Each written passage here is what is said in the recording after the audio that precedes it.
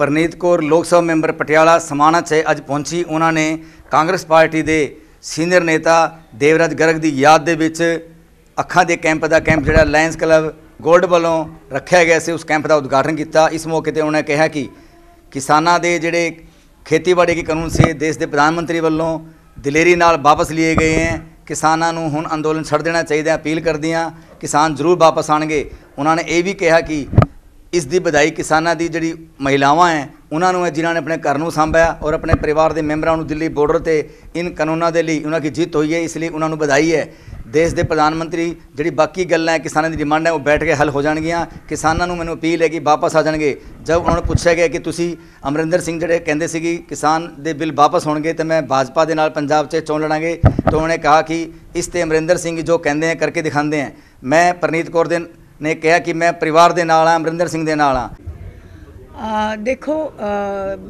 ਇਹ ਜਿਹੜੇ ਕਾਨੂੰਨ ਲਏ ਗਏ ਨੇ, ਮੈਂ ਪਹਿਲੇ ਵੀ ਕਿਹਾ ਹੈ। ਪਹਿਲੇ ਤਾਂ ਬਹੁਤ ਬਹੁਤ ਵਧਾਈ ਹੋਏ ਸਾਰੀ ਕਿਸਾਨੀ ਨੂੰ।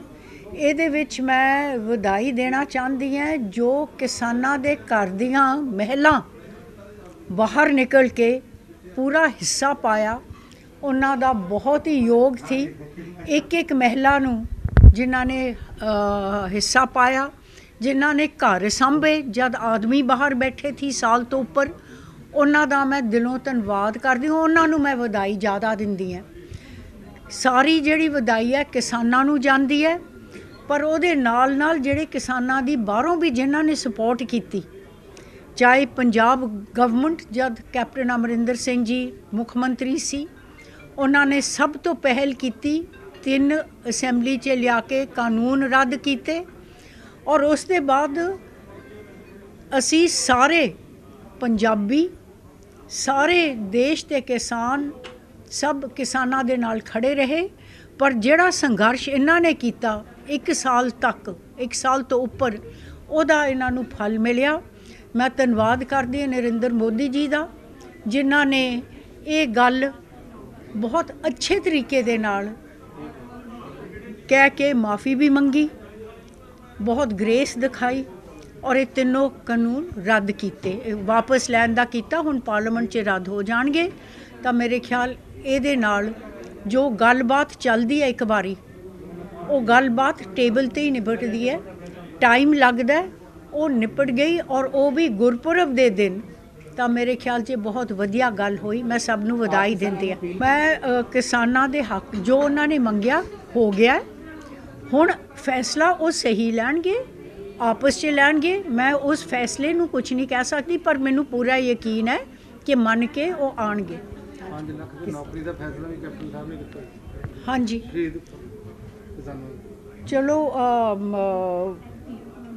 ਕਿਸਾਨਾਂ ਦਾ ਨੁਕਸਾਨ ਵੀ ਹੋਇਆ ਪਰ ਜਦ ਕੁਝ ਹੁੰਦਾ ਤਾਂ ਇਹ ਗੱਲ ਜ਼ਰੂਰ ਹੁੰਦੀ ਹੈ ਬਹੁਤ ਦਰਦ ਹੋਇਆ ਜਦ ਸਾਡੇ ਅ, 700 ਦੇ ਕਰੀਬ ਕਿਸਾਨ ਗੁਜ਼ਰ ਗਏ ਉੱਥੇ। ਪਰ ਜਦ ਤੱਕ ਸਰਕਾਰ ਦੀ ਅਮ, ਵਾਗਡੋਰ ਕੈਪਟਨ ਸਾਹਿਬ ਨੇ ਫੜੀ ਥੀ ਔਰ ਹੁਣ ਵੀ ਮੇਰੇ ਖਿਆਲ 'ਚ ਅੱਗੇ ਉਹੀ ਰਵਾਇਤ ਚੱਲ ਰਹੀ ਹੈ ਕਿ ਉਹਨਾਂ ਨੂੰ 5-5 ਲੱਖ ਔਰ ਨੌਕਰੀਆਂ ਦਾ ਫੈਸਲਾ ਹੋ ਗਿਆ ਸੀ ਉਹ ਹੁਣ ਇੰਪਲੀਮੈਂਟ ਹੋ ਰਿਹਾ। ਦੇਖੋ ਇਹਦੇ ਉੱਤੇ ਮੈਂ ਕੋਈ ਟਿੱਪਣੀ ਨਹੀਂ ਕਰਨ ਚਾਹ- ਚਾਹੁੰਦੀ। ਹੱਲੇ ਸਾਰਾ ਕੁਝ ਸਪਸ਼ਟ ਹੋ ਜਾਏ। ਸਭ ਦਾ ਹੱਕ ਹੈ ਖੜਨ ਹੋਣ ਖੜੇ ਹੋਣ ਦਾ। ਸਭ ਦਾ ਇਹ ਲੋਕਤੰਤਰ ਹੱਕ ਹੈ। ਜਿਸ ਤਰ੍ਹਾਂ ਜਿਸ ਤਰ੍ਹਾਂ ਜਿਹੜੀ ਵੀ ਜਥੇਬੰਦੀ ਆਪਣੀ ਰਾਜਨੀਤੀ ਕਰੂਗਾ ਜਾਂ ਅੱਗੇ ਲੈ ਕੇ ਆਊਗਾ ਤੁਹਾਡੇ ਸਾਹਮਣੇ ਹੋਊਗਾ ਉਸ ਦੇ ਬਾਅਦ ਜਿਹੜੇ ਸਾਰੇ ਨੇਤਾਗਣ ਨੇ ਉਹ ਆਪਣੀ ਆਪਣੀ ਇਹਦੇ ਵਿੱਚ ਫੈਸਲਾ ਲੈਣਗੇ। ਕੈਪਟਨ ਸਾਹਿਬ ਨੇ ਕਿਹਾ ਥਾ ਵੀ ਮੈਂ ਜਦ ਕਾਨੂੰਨ ਵਾਪਸ ਹੋ ਜਾਣਗੇ ਬੀਜੇਪੀ ਨਾਲ ਮਿਲ ਕੇ ਅਸੀਂ ਪੰਜਾਬ 'ਚ ਤਿਆਰੀ ਕਰ ਰਹੇ ਹਾਂ। ਇਸ ਤੇ ਆਪ ਕੀ ਕਹੋਗੇ? ਇਹ ਤੁਸੀਂ ਕੈਪਟਨ ਸਾਹਿਬ ਨੂੰ ਪੁੱਛੋ ਜੋ ਕੈਪਟਨ ਸਾਹਿਬ ਕਹਿੰਦੇ ਹੋ ਆਪਣੀ ਆਪਣੀ ਗੱਲ ਦੇ ਉੱਤੇ ਖੜੇ ਰਹਿੰਦੇ ਨੇ। ਕੈਪਟਨ ਸਾਹਿਬ ਦੇ ਨਾਲ ਰਹੋਗੇ। ਮੈਂ ਆਪਣੇ ਪਰਿਵਾਰ ਨਾਲ ਹੈ। ਦੇਖੋ, ਅੱਜ ਸਮਾਣੇ ਆ ਕੇ ਖੁਸ਼ੀ ਬਹੁਤ ਹੋਈ ਮੈਨੂੰ। ਸਭ ਨੂੰ ਮਿਲ ਕਰ ਔਰ ਖਾਸ ਕਰਕੇ ਇਸ ਸਮਾਗਮ ਦੇ ਲਈ ਜੋ ਲਾਇਨਸ ਕਲੱਬ 골ਡ ਵੱਲੋਂ ਇਹ ਆਈ ਕੈਂਪ ਲੱਗ ਰਿਹਾ ਹੈ। ਦੱਸ ਰਹੇ ਨੇ ਪ੍ਰਧਾਨ ਜੀ ਕਿ 100 ਦੇ ਕਰੀਬ ਆਪਰੇਸ਼ਨ ਹੋਣਗੇ ਕੈਟਰੈਕਟ ਦੇ ਔਰ ਲਾਇਨਸ ਕਲੱਬ ਦਾ ਸਹਿਯੋ- ਸਹਿਯੋਗ ਇਹ ਦੇ ਰਹੇ ਨੇ ਆਪਣੇ ਬਾਬੂ, ਸਾਡੇ ਦੇਵਰਾਜ ਜੀ ਬਹੁਤ ਪੁਰਾਣੇ ਇੱਥੋਂ ਦੇ।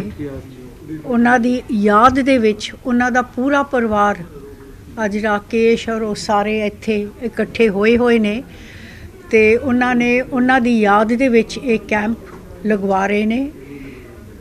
ਉਸ ਲਈ ਮੈਨੂੰ ਜ਼ਿਆਦਾ ਖੁਸ਼ੀ ਹੋਈ ਹੈ ਕਿ ਇੱਕ ਜਿਹੜਾ ਪਰਿਵਾਰ ਜਿਹਦੇ ਨਾਲ ਬਹੁਤ ਜ਼ਿਆਦਾ ਸੰਯੋਗ ਸੀ, ਮੇਰੇ ਸੱਸ ਸਾਹਿਬ ਦਾ ਔਰ ਬੜਿਆਂ ਤੋਂ ਲੈ ਕੇ ਸਾਡੇ ਤੱਕ, ਤਾਂ ਉਹਨਾਂ ਦੀ ਯਾਦ ਦੇ ਵਿੱਚ ਅਸੀਂ ਆ ਰਹੇ ਹਾਂ ਔਰ ਮੈਂ ਵਧਾਈ ਦਿੰਦੀ ਹਾਂ ਲਾਇਨਸ ਕਲੱਬ ਨੂੰ, ਇਹਨਾਂ ਦੇ ਪ੍ਰਧਾਨ ਔਰ ਮੈਂਬਰਸ ਨੂੰ ਕਿ ਇਹਨਾਂ ਨੇ ਇੱਕ ਬਹੁਤ ਵਧੀਆ ਇਹ ਉਪਰਾਲਾ ਕਰ ਰਹੇ ਨੇ। ਤਾਂ ਮੈਂ ਆਸ ਰੱਖਦੀ ਹਾਂ ਕਿ ਅੱਗੇ ਨੂੰ ਵੀ ਕਿਉਂਕਿ ਇਹ ਕਲੱਬ ਲਾਇਨਸ ਕਲੱਬ ਨੇ ਹਰ ਵਕਤ ਸਮਾਜ ਸੇਵਾ ਦੇ ਵਿੱਚ ਬਹੁਤ ਕੰਮ ਕੀਤਾ ਹੈ, ਇਸ ਤਰ੍ਹਾਂ ਹੀ ਚੱਲਦੇ ਰਹਿਣ। ਇਹ ਕੈਂਪ ਅਸੀਂ ਲਾਇਨ ਕਲੱਬ ਸਮਾਣਾ 골ਡ ਅਤੇ ਬਾਉ ਦੇਵਰਾਜ ਜੀ ਦੀ ਯਾਦ 'ਚ ਜਿਹੜੀ ਉਹਨਾਂ ਦੀ ਪਹਿਲੀ ਵਰਸੀ ਦੀ ਉਸ ਤੇ ਲਗਾਇਆ ਹੈ ਜਿਸ 'ਚ ਅਸੀਂ ਲਗਭਗ 300 ਮਰੀਜ਼ਾਂ ਦਾ ਚੈੱਕਅਪ ਕਰ ਚੁੱਕੇ ਤੇ 150 ਮਰੀਜ਼ ਅਸੀਂ ਲੈਂਸ ਜਿਹੜੇ ਨੇ ਪਾਣ ਲਈ ਨਿਕਲੇ ਨੇ ਜਿਨ੍ਹਾਂ ਦਾ ਅਸੀਂ ਆਪਰੇਸ਼ਨ ਕਰਾਂਗੇ ਕਲੱਬ ਦੀ ਤਰਫ ਤੋਂ। ਅੱਜ ਕੌਣ ਕੌਣ ਆ ਰਿਹਾ ਇਸ ਦੇ ਵਿੱਚ ਅ, ਸਾਡੇ ਅੱਜ ਮੁੱਖ ਮਹਿਮਾਨ ਦੇ ਤੌਰ ਤੇ ਮਹਾਰਾਣੀ ਪ੍ਰਨੀਤ ਕੌਰ ਜੀ ਜੋ ਕਿ ਵਿਸ਼ੇਸ਼ ਤੌਰ ਤੇ ਆ ਰਹੇ ਨੇ ਜਿਨ੍ਹਾਂ ਦਾ ਕਿ ਪਰਿਵਾਰ ਨਾਲ ਨਿੱਜੀ ਤੌਰ ਤੇ ਪਰਿਵਾਰਿਕ ਰਿਸ਼ਤਾ ਹੀ ਹੈ ਉਹਨਾਂ ਦਾ। ਦੇਖੋ ਜਦੋਂ ਕਿਸੇ ਜ਼ਰੂਰਤਮੰਦ ਬੰਦੇ ਦੀ ਨਿਗਾਹ ਬਣ ਜਾਂਦੀ ਹੈ ਤਾਂ ਇੱਕ ਤਰ੍ਹਾਂ ਉਹ ਨਵੀਂ ਦੁਨੀਆ ਦੇਖ ਰਿਹਾ ਹੈ ਨਾ। ਜਿਹੜੀ ਉਹਨੂੰ ਖੁਸ਼ੀ ਮਿਲਦੀ ਹੈ, ਉਸ ਤੋਂ ਵੱਧ ਖੁਸ਼ੀ ਸਾਨੂੰ ਕਲੱਬ ਵਾਲਿਆਂ ਨੂੰ ਮਿਲਦੀ ਹੈ। ਅਸੀਂ ਅਸੀਂ ਆਪਣੇ ਫਾਦਰਸ ਦੀ ਪਹਿਲੀ ਬਰਸੀ ਦੇ ਉੱਤੇ ਇਹ ਜਿਹੜਾ ਕੈਂਪ ਹੈ ਇਹ ਆਰਗੇਨਾਈਜ਼ ਕੀਤਾ ਹੈ। ਤੇ Lions Club Gold Lions Club Gold ਵੱਲੋਂ। ਉਹਨਾਂ ਦੀ ਉਹਨਾਂ ਦੀ ਕੋਲੈਬੋਰੇਸ਼ਨ ਦੇ ਨਾਲ ਅਸੀਂ ਤੇ ਜਿਹੜਾ ਫ੍ਰੀ ਆਈਜ਼ ਦਾ ਫ੍ਰੀ ਕੈਂਪ ਵਿਦ ਲੈਂਸ ਦੇ ਨਾਲ ਇਹ ਲਗਾਇਆ ਹੈ। ਕੈਮਰਾਮੈਨ ਬੀਕੇ ਗਰਗ ਦੇ ਨਾਲ ਪੁਰਸ਼ੋਤਮ ਕੌਸ਼ਿਕ ਸਮਾਣਾ ਨਿਊਜ਼।